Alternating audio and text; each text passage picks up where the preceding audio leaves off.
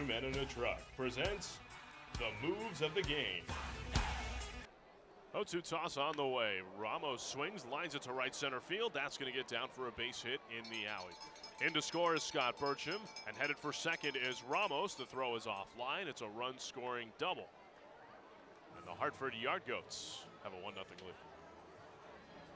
Grills the lefty, tosses the 2 1. Jackson swings and crushes it deep left field. Weeks back, and this ball is off the base of the wall. Rijo scores. Right on his heels is Brandon Wagner. He scores as the throw is cut off, and it's a go ahead two run double for Jhalan Jackson.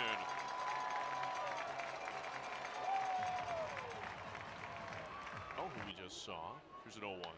Hilliard swings and lifts it down the right field line. It's well struck. Jackson is back. He's looking up and it's off the base of the wall. Ramos around second. He touches third and gets the wave from home. And he will score without a throw. And taking third is Hilliard as the Thunder were unable to bring in the relay throw. And we are tied at two here in the sixth inning. And Sea Dogs are tied at two. Next pitch to Bednar is swung on and hammered to left. Back is Amburgey. He looks up and it is gone. Two run home run, Brandon Bednar. It is Bednar's fourth home run with the Hartford Yard Goats, and they have the lead.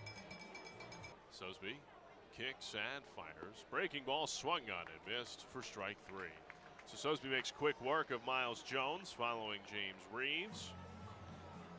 That's the final out here in Hartford's half of the sixth inning, but they score three times on two hits and nobody left. We go to the bottom of the sixth. You're listening to the Trenton Thunder Radio Network. And the 2 2 on its way to Nunez. A swing and a line drive past Wagner into right field for a base hit. Molina scores from third. Metzler gets the stop sign at third base, so the Yard Goats play station to station. A one run single for Dom Nunez makes it 5 2 Hartford.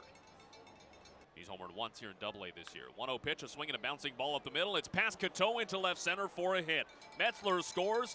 Burcham right behind him. He scores without a throw as a throw from center field goes into third. A two run single by Drew Weeks makes it 7 2 Yard Goats. The 0 1 fastball lined softly into right field for a hit.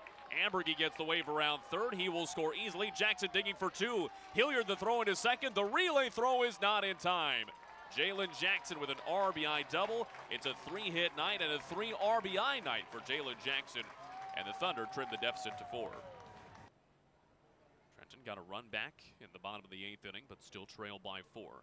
Schlitter with the set and the one two pitch. Wagner swings and misses it. the breaking ball, strike three, and the ball game is over. The Yard Goats sweep the brief two game series here in Trenton with a 7 3 final score here in game two. Thank you.